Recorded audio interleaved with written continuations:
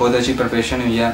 हम practice matches भी खेले हैं तो उधर काफ़ी अच्छा मोमेंटम मिला है प्लेयर्स को, क्योंकि काफ़ी ऐसे से टी ट्वेंटी मैचेस नहीं खेले भी। सारे लड़के, माशाल्लाह बहुत अच्छे टच में लग रहे हैं तो उम्मीद करते हैं कि इंशाल्लाह बहुत अच्छी और एक्साइटेड सीरीज़ होगी। जिस तरह की पी एस एल के बॉलिंग स्टैंडर्ड हैं, अगर उनके खिलाफ मैंने डांस किया तो काफ़ी ज़्यादा कॉन्फिडेंस मिला क्योंकि एक इंटरनेशनल सुनहरिया था। इंटरनेशनल मैचेस नहीं थे, लेकिन जो हमारे पी एस के बॉलिंग स्टैंडर्ड है, वो काफ़ी हाई है। तो काफ़ी ज़्यादा कॉन्फिडेंस मिला और उम्मीद करता हूँ कि इंशाल्लाह जब भी चांस मिलेगा, कोशिश करूँगा इंटरनेशनल मैच में वैसी परफॉर्मेंस करने की कोशिश करूँगा।